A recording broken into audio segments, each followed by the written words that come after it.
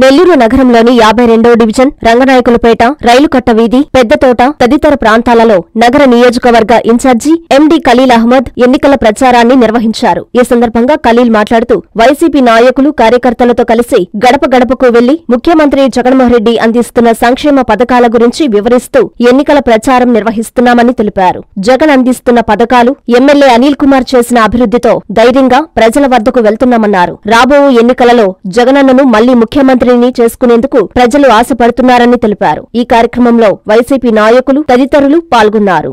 మేము ఆయన హట్కో నిధులని అప్పు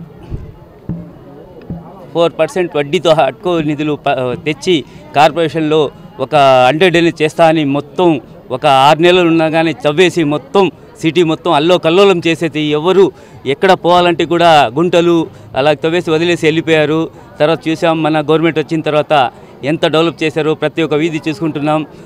ఆయన అభివృద్ధి ప్రదాత అభివృద్ధి ఎప్పుడైనా ఆయన డిబేట్కి రా వస్తే తప్పకుండా చూపిస్తాం. మేము ఏం అభివృద్ధి చేశాము వాళ్ళు ఏం అభివృద్ధి చేశారో వాళ్ళ గవర్నమెంట్లో ఏం చేశారో మా గవర్నమెంట్లో ఏం చేశాము తప్పకుండా వాళ్ళకి తప్పకుండా మేము రుజువులతో చూపిస్తాం. ఎక్కడ చూసినా ఇప్పుడు పోయి చూసుకోండి మీరు తిరిగి రోడ్లన్నీ మేము వేసిందే. మీరు ఎక్కడ ఫ్లైఓవర్ పోయే బ్రిడ్జ్ మేము వేసిందే. పెన్నా బ్యారేజ్ మేము వేసిందే. మైపాడ్ ఫోర్ వే రోడ్స్ మేము వేసిందే. కెనాల్ జాఫర్ కెనాల్ కట్టేది మేము కట్టేదే. మీరు ఏం చేశారు అభివృద్ధి? మీరు ఒక్కసారైనా చూపించండి. అదే నేను హండ్రెడ్ డేలు తెచ్చా. అంతే. ఇంకేమీ ఉందా? అది యుద్ధ ఆరు నెలల్లో హంగామా చేసేసి ఏమో సిటీని ఒక అల్లో కల్లోలంగా చేసేసారు. నేను అభివృద్ధి చేశానని చెప్పారు. అంతే తప్ప వేరేది ఏం చేసింది ఏం లేదు. తప్పకుండా. తప్పకుండా?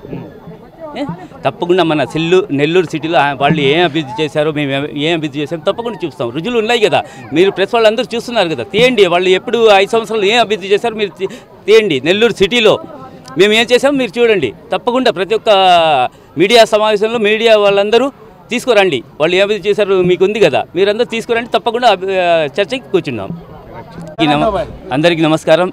ఈరోజు మన ప్రియతమ నాయకుడు రాష్ట్ర ముఖ్యమంత్రి వైఎస్ జగన్మోహన్ రెడ్డి గారు ఒక సామాన్య కార్యకర్తకు ఈరోజు ఒక నెల్లూరు సిటీ అభ్యర్థిగా ప్రకటించి ఈరోజు నాకు నెల్లూరు ప్రజల సేవ చేసుకునే అవకాశం ఒకటి కల్పించారు. అలాగే మన నెల్లూరు సిటీ ఎమ్మెల్యే గారు ఈరోజు మనం చేసిన అభివృద్ధి నెల్లూరు సిటీలోనే చూస్తున్నాం. ఎక్కడ చూసినా సిమెంట్ రోడ్లు కానీ పెన్నా బ్యారేజ్ కానీ ఫ్లైఓవర్ కానీ మైపాడ్ గేట్ ఫోర్ వే కానీ కెనాల్ కానీ రివిట్ వాల్ కానీ పెన్నా రివిట్ వాల్ కానీ అలాగే జాఫర్ సా- కాలువ వాల్ కానీ అలాగే చూస్తున్నాం. ప్రతి ఒక్క వార్డులో ఎక్కడ చూసినా సిమెంట్ రోడ్లు వేసుకుంటున్నాం ఎప్పుడో ముప్పై నలభై సంవత్సరాలు వేసిన ముందు రోడ్లు ఇప్పుడు వేసుకుంటూ పోతున్నాం. ముప్పై రెండు పార్కులు కట్టాం. ఒక సిటీలోనే పోయినసారి రెండు ఏడు పార్కులు కట్టి వాళ్ళు ఏమో మేము వందల పార్కు కట్టేసాము ఎంతో అభివృద్ధి చేశామని చెప్పుకుంటూ పోయారు. ఎక్కడ చూసినా తవ్వేసి వదిలేశారు. పోయిన టీడీపీ హయాంలో ఐదు సంవత్సరాలు రోడ్లన్నీ ఒక యుద్ధ ప్రాతిక ఒక సంవత్సరంలో వాళ్ళు ఏమో మేము చేసేస్తాం. నెల్లూరుని ఒక మోడల్ సిటీగా చేస్తామని చెప్పి తర్వాత కనబడకుండా మళ్ళీ ఇప్పుడు వచ్చి ఒక రెండు నెలల నుంచి వాళ్ళు వచ్చి తిరగడం మేము అభివృద్ధి ప్రదాత మేము అభివృద్ధి చెప్పుకుంటున్నారు. మన నెల్లూరు సిటీ ఎమ్మెల్యే గారు చేశారు ఎంత అభివృద్ధి చేసినారు. పన్నెండు వందల కోట్ల రూపాయలతోనే మన నెల్లూరు సిటీ అభివృద్ధి జరిగిందంటే ఒక గర్వకారణం ఎక్కడా అంత అభివృద్ధి జరగలేదు. అలాగే నెల్ మన జగనన్న చేసిన పథకాలు పదకొండు వందల పదకొండు వందల ఎనభై కోట్ల రూపాయలు నెల్లూరు సిటీలోనే జగనన్న చేసిన నవరత్వాల ద్వారా పథకాల ద్వారా ఈరోజు లబ్ధి పొందిస్తున్నారు నెల్లూరు ప్రజలు. ప్రతి ఒక్క గడప గడప మనల్ని ఆస్వాదిస్తున్నారు ప్రతి ఒక్కరూ మా వైఎస్ఆర్ కాంగ్రెస్ పార్టీకి మళ్ళీ జగనే సీఎం కావాలని అలాగే వైఎస్ఆర్ కాంగ్రెస్ పార్టీకి మంచి మెజార్టీ గెలిపిస్తారని ప్రతి ఒక్కరు కోరుతున్నారు. ప్రతి ఒక్కరూ ఆదరిస్తున్నారు. మన నేను ఒక సామాన్యుని ఈరోజు జగనన్న ఈ అవకాశం ఇచ్చారు. నేను మీకు అందుబాటులో ఉంటా మీ ప్రజాసేవ చేసుకుంటా. మీరు ఎప్పుడు చేసిన పిలిచినా మీకు అందుబాటులో ఉంటా. మీరు ఎప్పుడైనా నా గడప తొక్కొచ్చు వేరే వాళ్ళ దగ్గర పోవాలంటే ఎక్కడ పోవాలో మీకే తెలియదు వాళ్ళు ఎవరు ఉంటారు ఎవరు లేదో ఒక ఎన్టీ మనీ ఈరోజు వచ్చిన్నారు. వాళ్ళు మళ్ళీ రేపు కనబడరు.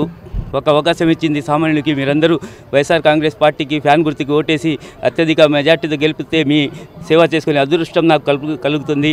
మీరందరూ వైఎస్ఆర్ కాంగ్రెస్ పార్టీ ఫ్యాన్ గుర్తుకి ఓటేయాలని మనస్ఫూర్తి కోరుకుంటున్నాను.